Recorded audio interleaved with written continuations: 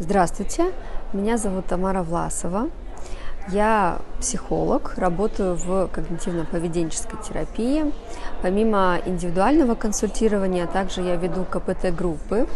Основная тематика – это социофобия и межличностные взаимоотношения.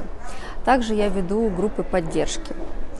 И я бы хотела рассказать по поводу своего обучения на продвинутом курсе, э, что я пошла на этот курс после окончания базового, потому что хотела получить еще более глубокие знания.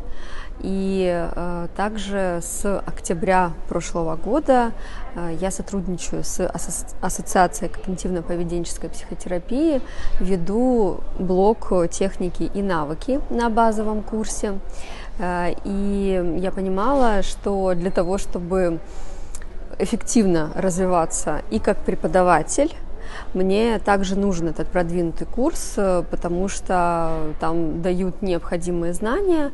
Э, плюс я смотрю на тех людей, на тех преподавателей, которые у меня ведут семинары, и также техники и навыки, но уже на продвинутом курсе интервизии. Плюс я посещаю индивидуальные супервизии у аккредитованного супервизора нашей ассоциации. Все это в комплексе дает э, мне возможность э, расти как специалисту и развиваться профессионально.